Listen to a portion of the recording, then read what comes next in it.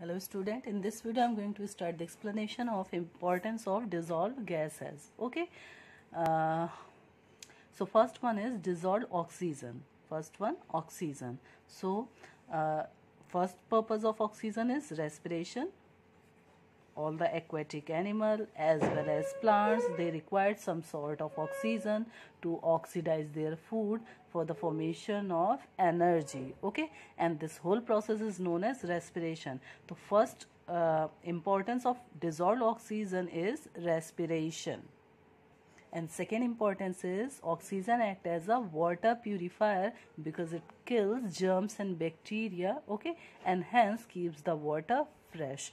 So these are the two importance of dissolved oxygen. First one respiration. Second one water purifier.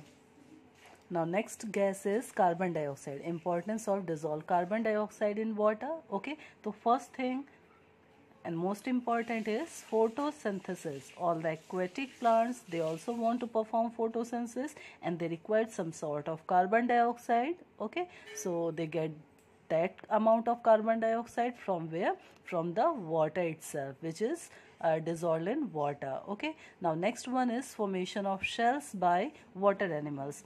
Like you have seen that snail okay snail an organism they cover their body uh, by a shell hard shell. And these hard shells are the carbonates or bicarbonates of calcium okay? And they are formed with the help of carbon dioxide. So second importance of carbon dioxide is formation of shells by water animals. All right so these two are the functions of dissolved carbon dioxide. First one photosynthesis, second one formation of shells.